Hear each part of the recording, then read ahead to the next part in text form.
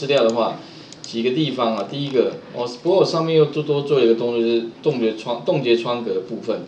这个所谓冻结窗格，你可以直接直接怎么样？直接在这个地方哈，在这边点一下 A 二有没有？这不知道各位有没有用过？检视里面有个冻结窗格，原来是卷下去，蓝不见了，所以一般我在 A 二地方有没有冻结一下，以后就出来啊，这样会比较方便一些。不然有时候哪一栏的名称你搞不清楚。第一个哈冻结窗的，第二个的话就是说。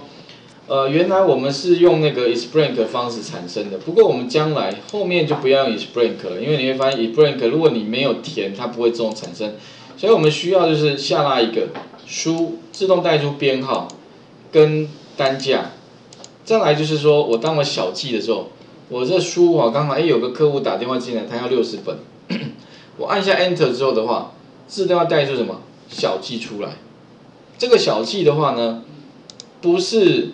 用什么呢？公式的方式产生哦。那再来就是什么呢？地区下拉一下哦，这是在北部，OK 就完成我们输输入的流程。哎，你会发现这样 run 就很顺的。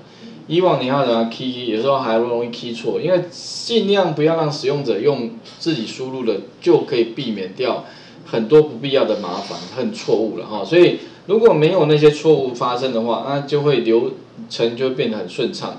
你就根本不需要再去去去帮他去做最后的 check 了，因为这些如果都自动产生的话，基本上就不太容易发生错误了。OK，所以最后的话，我再把这个部分呢 final 讲再讲一下，就最后的话呢，这个部分呢是判断它跟它出来的，那这个输入这个是手动输入对，它会自动跳出这一个，还有呃这个是下拉选单，那这个部分怎么样去判断？一样嘛，当什么呢？第一栏的资料变更，对不对？